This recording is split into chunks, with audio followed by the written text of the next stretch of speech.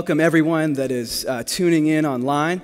Uh, we're so ex- excited uh, right now to be together, to be together as uh, the church, uh, to be together as humanity.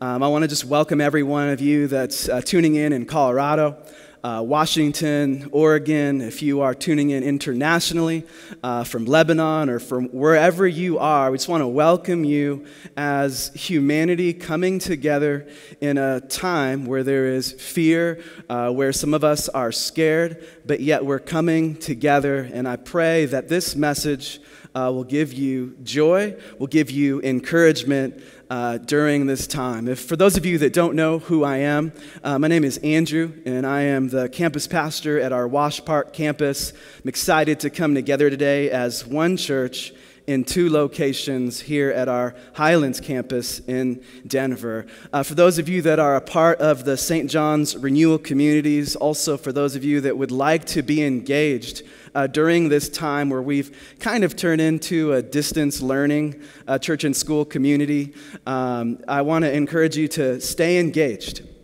Um, you can tune in at sjdenver.org. Uh, that's the website for our Wash Park campus. Uh, also, renewaldenver.org. You can find all of the information that you need during this time uh, to worship with us, to hear the Word of God, to continue to be fed, um, and then also to know uh, what announcements are taking place uh, for the community on the lower right hand part of your screen, there's a phone number. Uh, that phone number is so that you could text your questions in today. If you have any questions about the worship service or the sermon, any questions that you have during this time, uh, me and Pastor AJ will be here after the sermon is finished, um, and we're going to do our best to answer your questions. So I invite you uh, to stay engaged. Um, today, we are in the middle of a sermon series inspired by a book uh, by Francis Chan called Multiply. Um, and in that particular book, we are going through the narrative of Scripture because we believe that God's story impacts our daily reality. And that when we get to know God, we get to know who He is, we get to know who we are, we get to know why we're here, we get to know where we're going. And so um, we're in the middle of that sermon series right now. I was tempted to just say, hey, let's preach a coronavirus topical sermon today. Um, but instead of just preaching a coronavirus topical sermon today, um, I am hoping that we will see as we go through this text of Scripture together that all Scripture is breathed out by God and profitable for teaching in whatever situation that you are in. So I hope and pray that the inspiration of the Holy Spirit would come through even on a sermon uh, on the uh, where you might be like it's the 10 commandments. How is that relevant to the situation that we are in today? I pray that by the power of the Holy Spirit you would see that for your life and see the relevance that the uh, word of God has for you. Um, so pom poms on a, a, beanie cap. What are those used for? Or rather, what is the purpose of a pom pom uh, on a beanie cap? Um, in the 18th century, it was actually French sailors who wore pom poms to protect heads from low deck ceilings. Interesting information. Uh, what about the square patch on a backpack?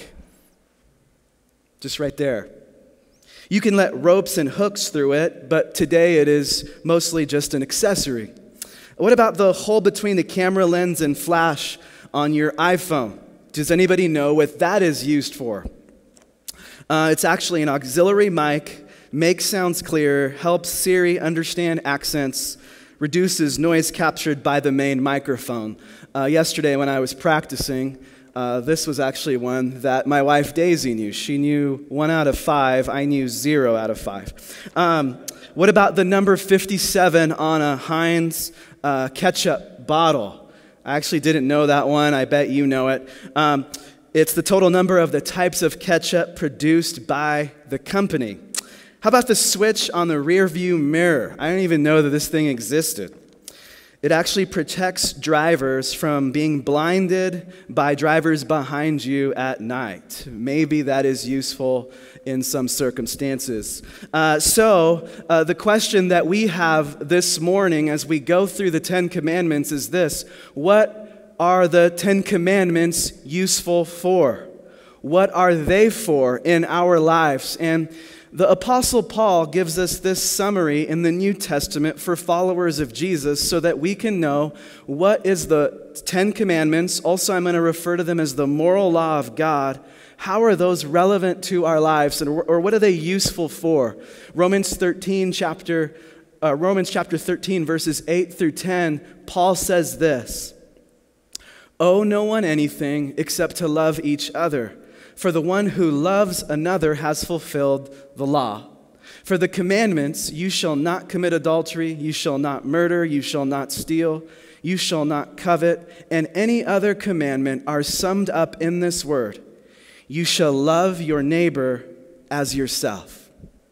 Love does no wrong to a neighbor, therefore, love is the fulfilling of the law. And so, this morning, we're going to take a look at that concept based on the moral law of God. And we're going to get some practical instructions in this situation where we have fear going on. How do we love God? How do we love people? That is, in summary, what the moral law of God is all about. Um, and I pray that the love of God would come into your heart and inspire you uh, so that you are inspired in a new way to love God and love people around you. Uh, we live in a time where we do a lot of speculation. Speculation is okay, what do I do? What do I believe? Who am I? What should I do for my neighbor? What should I do for the people around me? Revelation is different than speculation. God reveals to us how is it that we love others? God speaks and teaches us. How is it that we care for our neighbor? How is it that we serve our city? Um, the first step in the relationship with God is that we have to agree. If we disagree with God, um, we aren't going to be able to follow his practical instructions for loving him and loving others. For those of you who have children, you know that um, if your children constantly disagree, there's going to be no follow through. Um, it's the same way in our relationship with God. God is inviting us to agree on how is it that we love? How is it that we care? How is it that we serve in a time like this?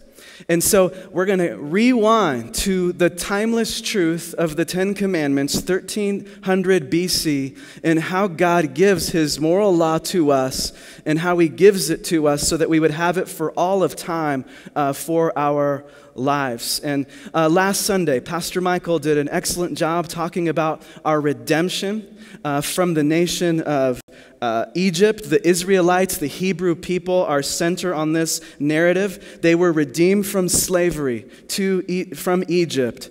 Now they're traveling in the wilderness. They're on their way to the promised land. But now God is going to appear on the same mountain he appeared to Moses. It's called Mount Sinai, and I have an infallible image from uh, Google Images. So you know that it's exactly what Mount Sinai looks like. Um, but on Mount Sinai, God appears to Moses again. And he says, Okay, now I've rescued you. Now you're my people. Now here is my moral law that I want to give to you that will set you apart from all of the other nations. All of the other nations are running after false gods. All of the other nations are living in speculation. But I want you to have my moral law so that you can know my will for your life. And so God appears. Um, there's smoke, there's lightning. It develops and elicits fear in Moses and the people that are surrounding. There is a healthy fear of God in this particular narrative that inspires us to say, okay, you're God, I am not. I'm going to be still, and I'm going to know you're God. I'm in a time of need. They were in a time of need. I want you to speak to me. I want you to speak to me and you in this time of need because I need truth. I need guidance. I need to know what to do uh, during this time, during this season of my life. And so here are the Ten Commandments that God communicates, and this is extracted from Exodus chapter 20, which is our main text. Uh, but this is a summary of what God says to Moses. He says this You shall have no other gods, you shall not take the name of the Lord in vain. Remember the Sabbath day and keep it holy. Honor your mother and your father. You shall not murder. You shall not commit adultery. You shall not steal. You shall not bear false witness. You shall not covet your neighbor's wife. You shall not covet your neighbor's house, belongings. And so, what I want to say about each of these Ten Commandments is, is this all of them are referenced and unpacked in the New Testament for the follower of Jesus. Some of them are unpacked in greater depth and take on more relevance and meaning, but all of them are referenced positively in the New Testament. You can also think of each one of them as categories or umbrellas of guidance and practical instruction regarding how we're going to love God and love people. And that's where I'm going to go next. The first three commandments, also known as the first table of the law, is about loving God. The first one says this You shall have no other gods before me. What God is saying there is this I want to be first in your life, I want to be your foundation. I want to be central, not peripheral. I don't want to be an assistant. I want to be your God. I want to be your Lord. Maybe during this season of life with this uh, pandemic that is occurring, it is like a time in our lives where perhaps for some of you there is a time of reprioritization. How am I going to uh, prioritize my time, my relationships? Maybe for some of you, uh, including myself, maybe our schedules have gotten out of control.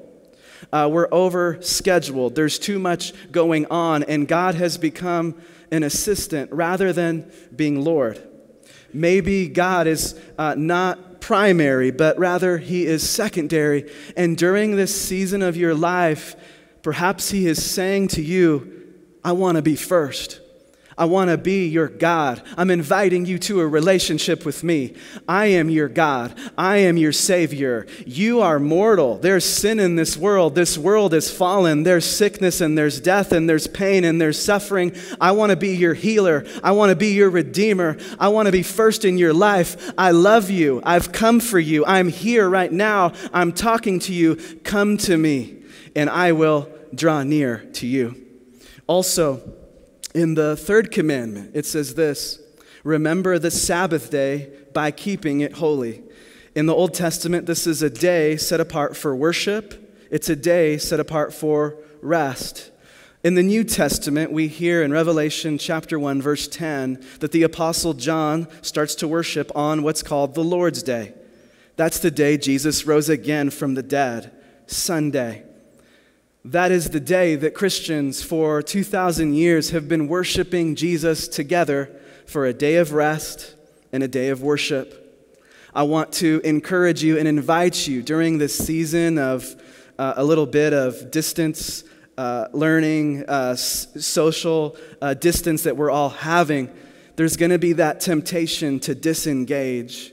I want to invite you, uh, if you live alone or you are married or your family, um, whatever your situation is, to come together, 10 a.m. Mountain Time. Let's worship the Lord. Uh, also, the sermons uh, moving forward will be posted on both the St. John's Denver app uh, as well as the Renewal Church app by noon, Mountain Time, each Sunday.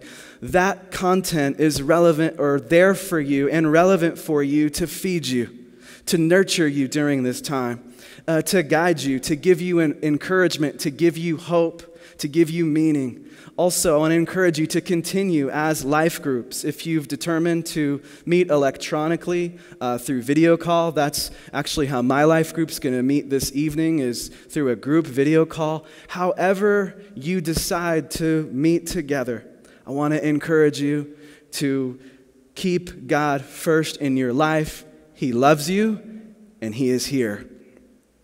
The second table of the law, that's commandments, uh, chapters, or rather, 4 through 10. I'm just going to highlight a couple of them that are, I believe, practical and relevant to us during this season of our lives. Uh, the fourth commandment says, Honor your father and your mother. I admit that during this season of uh, dealing with the coronavirus, um, I've been since Friday and then yesterday on conference calls, video calls, seeking to improve communication uh, or seeking to communicate with our church, uh, and then also just preparing this message. And I'm like, I haven't even made a phone call to my mom and dad during this time. Um, my mom and dad are in their 70s. Um, perhaps some of you also have uh, parents that are still alive, that are getting older, that are more vulnerable uh, to this virus during this season.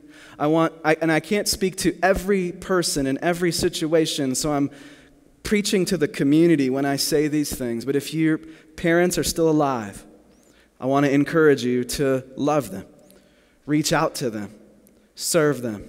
During a time like this, God calls on us to say, What is most important? This commandment reminds us of the importance of our families. God uh, is calling on us to love and serve the elderly. For example, um, I come from Seattle, and my older sister is now running errands for my mom so that she doesn't have to go to the store um, and so that she can be there uh, for my mom during this season. Maybe you live in a more physically distant place from your parents, and that's okay. But you can still make use of the communication that is given to you during this time to love them and to encourage them. Also, I want to expand this category to also include those of you who have children that are living in the home. Maybe life has gotten so busy, and now, by the grace of God, it's going to slow down a little bit. It's going to slow down a little bit. And so I want to invite you. What are those meaningful conversations, those spiritual conversations that you can have during this time?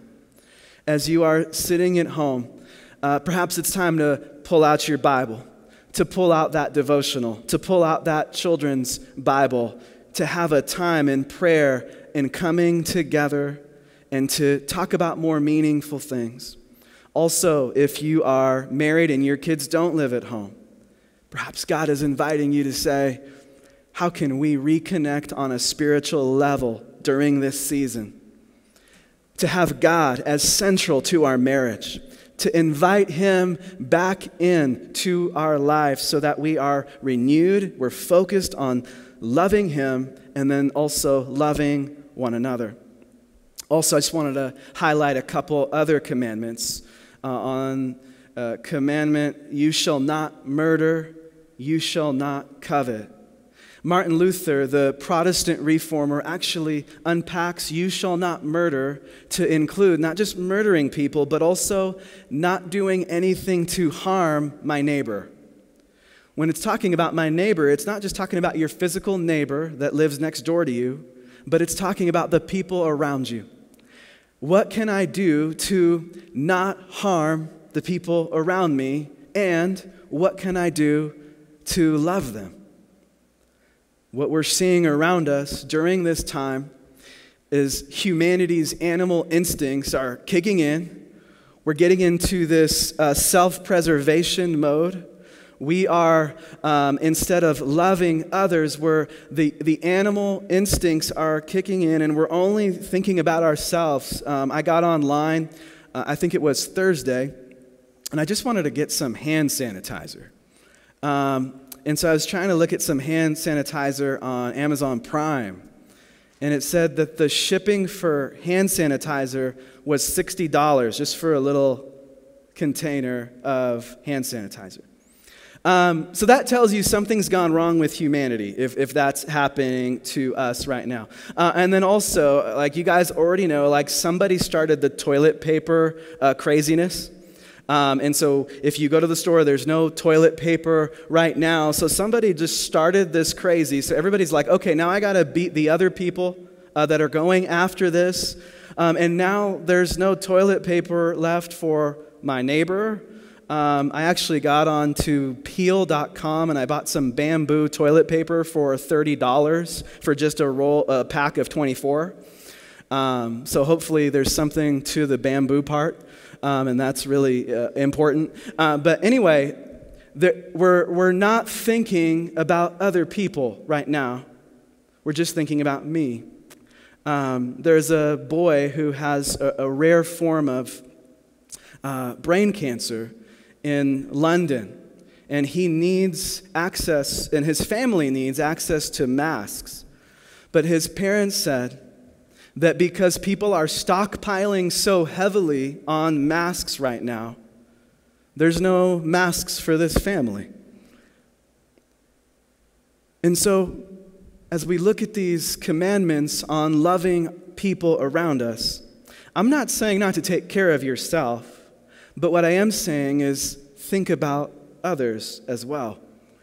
What if there's little boys and little girls like this around the world that are in need of something, but we're hoarding and we're coveting and we're uh, hiding things away in our basement and, and we're not leaving any resources or items for other people that are in greater need than us. Jesus was asked, What are the two greatest commandments? And he said this Love the Lord your God with all your heart, mind, soul, and strength. And he said the second one is like it love your neighbor as yourself. Love God, love people, timeless truth going way back from ancient times, still relevant to our time today. Now, there may be some of you that are listening online, or um, I'm actually preaching to a room of 10 people right now uh, who are just really totally engaged by this message. Can, can I get an amen? amen. All right, they're here. And so uh, you may be a little convicted after you hear these commandments. They're instructions, but then they also can show us our sin as well. If you're convicted right now, what I would say to you is this that's God's love for you as well. When God convicts us, He's loving us because the purpose of the Ten Commandments is not so that we can get to heaven. The purpose of the Ten Commandments is to show us that we need Jesus so we can get to heaven. We need something greater than the coronavirus slowing down. We need a greater answer. We need someone that's higher, that's transcendent from another world to give us hope that's unlimited, hope for us now, hope that's certain, and his name is Jesus Christ. And so the Apostle Paul in Galatians chapter 4, fast forwarding to the New Testament to give us proclamation uh, for us during our time as followers of Jesus, or if you are listening as a seeker, this is what he says is our solution. But when the right time came, God sent his son, born of a woman, subject to the law. Jesus came subject to this moral law God sent him to buy freedom when he died on the cross for us who were slaves to the law, so that he could adopt us as his very own children. Jesus comes to restore your relationship with God. See, our problem is a problem called sin, and it separates us from a holy God. That's what we're kind of we're feeling the effects of that right now that we're fallen, that we're uh, fearful, that we don't want to get sick, that we don't want to die. But Jesus has come to restore our relationship with God. And when He kept the law on our behalf, He kept it in perfection and holiness. The good news is this that on the cross, Jesus took your sin and my sin. And that in an exchange, He gives us His righteousness, His holiness, his innocence. And now his holiness represents you before the Father. And when you trust in him as your Savior and you have faith in him as your Lord and as your Savior, you're joined to him and you get eternal life. Eternal life is not just a future idea, but it's a present reality. It's a present reality for you now as you are worried, as you have fear, as you don't know what the future holds. The eternal life that comes through Jesus Christ is yours as you are joined to him by faith. And then also, on the third day, he rose again and he conquered death and he conquered um, Satan. He conquered it all for you and for me. And so when we're joined to him, he says this Because I live, you also will live. Because I love, you will also have my love for all eternity. The Old Testament said he was going to come the first time. Did he come? Yes, he came. The New Testament is saying he will come again. And when he comes again, he is going to renew the world as we see it now. This world as that you are looking at right now will have no more death, no more mourning, no more pain, no more sickness, no more sorrow, for the old order of things would have passed away. That is what is coming for us who believe in Jesus. And what he says uh, about this particular party is it's going to be a renewal party, a restoration party when he comes again. And this is the greater need that we have more than this pandemic slowing down. We need a Savior, and his name is Jesus Christ. Wherever you are today, wherever you're at in your relationship with God, whether you consider yourself a follower of Jesus or a seeker or an agnostic, wherever you're at, I just want to invite you because I want to see everybody at that party. God wants to see everyone at that party. And what he says is this I desire all to be saved and to come to a knowledge of the truth. If you are feeling like, hey, I've come to the end of myself, I'm running out of answers, I'm running out of options, I feel weak, I feel scared, I don't know what the future holds. Maybe God is saying to you this morning, come to me and I'm going to come near to you. He's inviting you in. And if you want to begin a relationship with God and you know that you, you want a more personal relationship with Him, He says these two words surrender and believe. Surrender is when we say, I'm done doing it my way. I'm done being autonomous and independent from you. I believe and I receive the gift of eternal life into my heart right now by faith alone, in Christ alone, and what He has done for me. You could do that and you can say that right now sitting on your couch. You can declare, I believe and I receive the grace of God as it comes to me through Jesus Christ. So, he gives us the Holy Spirit, and then coming back to the Ten Commandments, are they gifts or are they rules? So far, they've just been rules. You shall not do this, you shall do that. But as a follower of Jesus, I want to invite you to see it this way. They now become gifts because they no longer condemn you, but they guide you for how it is that we can live our lives during this time.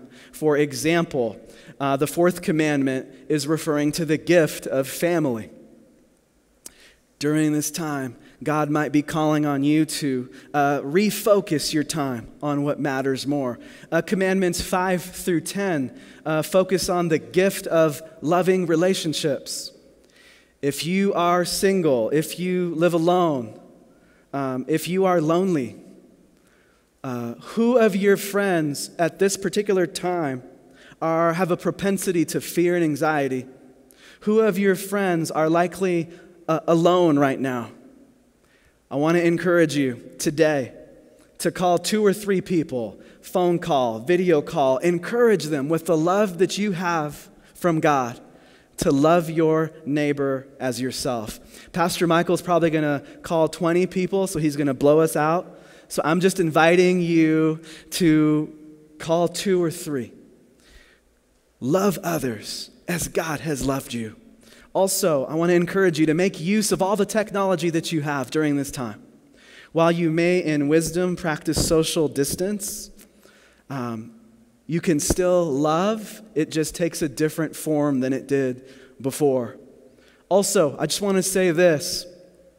There are likely people that are going to contact you during this season, during the next month or so, that have needs. There's a need that they have. I just wanted to uh, share this story from my time uh, when I was living in Oregon. I was going to IKEA in Portland, and a need was about to come up. Uh, we left IKEA and we're driving south on Interstate 5. We're just driving.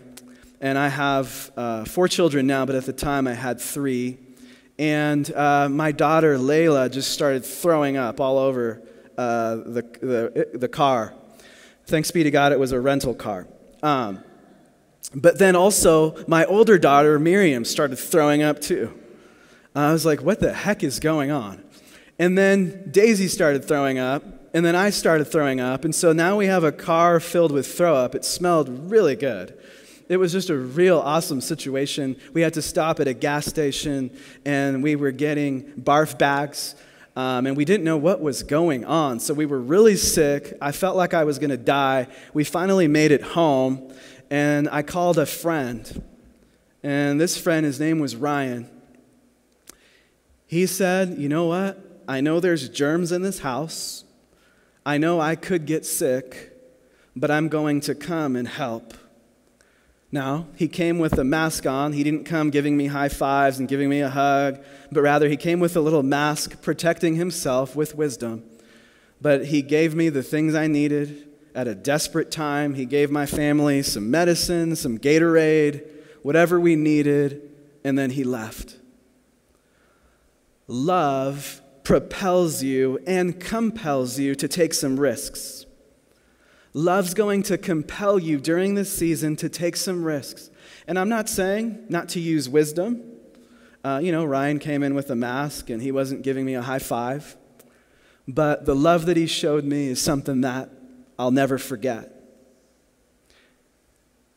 Move forward with faith and wisdom. May love compel you to do what God is calling on you to do. And then also, um, with the ninth and tenth commandments of coveting, you can see them about coveting, or you can see them about the gift of contentment. They can lead you to fear, or it can lead you to faith. During this season, you might be thinking, Am I going to have enough? Am I going to have a job? Um, am I going to have enough resources, money? How are we going to get by during this time? I want to remind you of this truth from Matthew chapter 6, verse 33. This promise I've seen to be true uh, for believers at all times. Jesus says this Seek the kingdom of God and my righteousness, and everything will be given to you as well. Seek me, I will provide. This coronavirus, it has a duration as far as it being a threat. We need an answer that is greater than it just slowing down. You and I need God and His provision and His providence, who will be with us and stay with us today and all eternity. God loves you, and in summary, I would say this receive God's love believe and receive God's love. And then also give God's love. There's going to be a temptation to retreat. I want to encourage you to research, to love your neighbor, and serve your city in different ways. We are here for something greater, something higher, something transcendent from another world. Uh, God's moral law for you is for your flourishing so that you would flourish in this kind of a situation as He tells you this I am your God. You are my son. You are my daughter. I love you today, and I will never leave you nor forsake you. Application question uh, for you uh, this morning as we tune in. Here's the question for us to discuss on your couch or this afternoon. What is one way God is calling on you to love right now during this season?